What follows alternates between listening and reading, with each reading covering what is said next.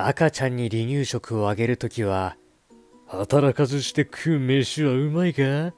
と、声をかけながらあげましょう。嫌なお母さんだよ、本当に。まあでも幸い中ちゃんだからね、言葉の意味は全く分かってないだろうけど、まあでも確かに赤ちゃん働いてねえな。ねえ、たかし、この乗り物本当に面白いのよ。2日連続で乗ってるんじゃなくて2日間ずっと乗ってんのよ。みゆき、ごめん。別れよう。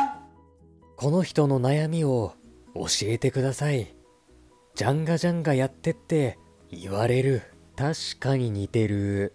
似てる、似てる。テルミー、ショーミー。いきなり出てきてごめん。誠にすいま。いじめに一人で立ち向かったって？かっこよかったぜ。平和な世界だ。優しいお兄さんたちよかったよね。でもやっぱ見た目がチャラい。けどそれが個性だからいいのかもしれない。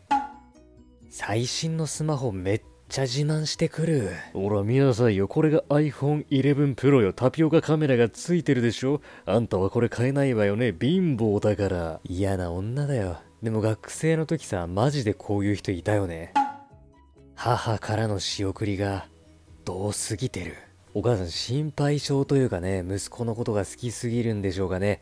ちょ、これはやりすぎてさすがに引くわ。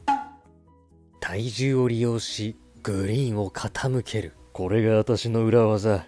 いや、必殺技よ。はい、そこの選手、失格。ガムを噛む回数か。だいたいでもどれぐらい100回ぐらい噛んでんのかな ?1 万回以上噛んだらどうなるんだ味の向こう側へ。なるほど、向こう側に行けるんだな。別に行きたくねえわ。ね、行きたい人はぜひ試してみてください。すっごい疲れるだろうけど。